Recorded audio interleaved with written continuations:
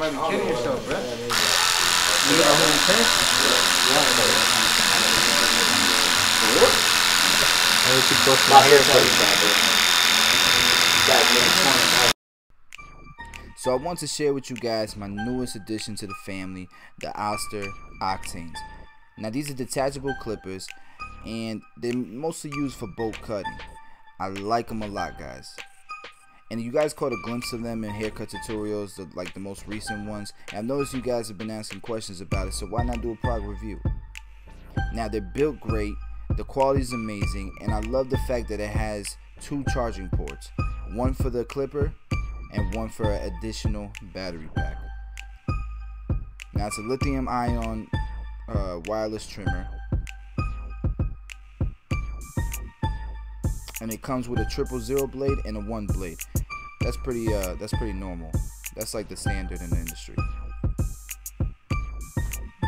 Fits really nice in the in the dock and the dock is sturdy. It's just built well, man. They did a really great job with this.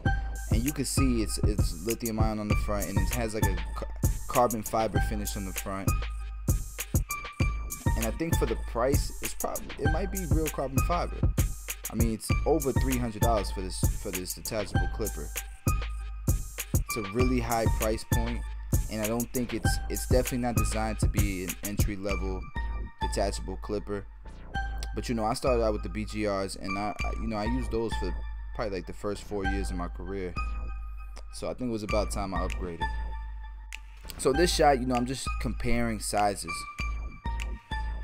You have the uh, the MVPs, Andis MVPs, and you have the Oster 76ers. Everybody's familiar with those. Well,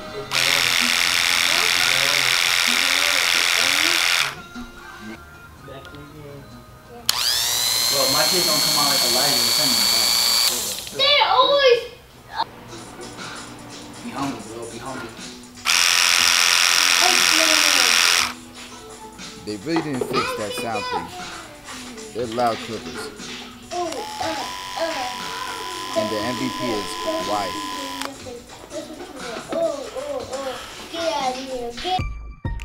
So I, you know, I'll let you judge. But right here, I'm just demonstrating how it, it cuts through the hair like it's nothing, man. A lot stronger than the BGRs, in my opinion.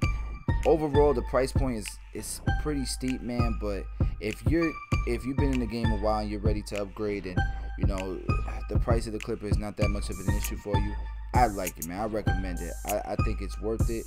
The lithium ion, the wireless, being cordless, and it's very lightweight. And don't let the size fool you. It feels tiny in your hand great clipper i give it a thumbs up it was about $300 i had a link in the description for the cheapest price i could find and if you like them and you buy them please comment below let me know what you think about it another video presented to you by headlines barbers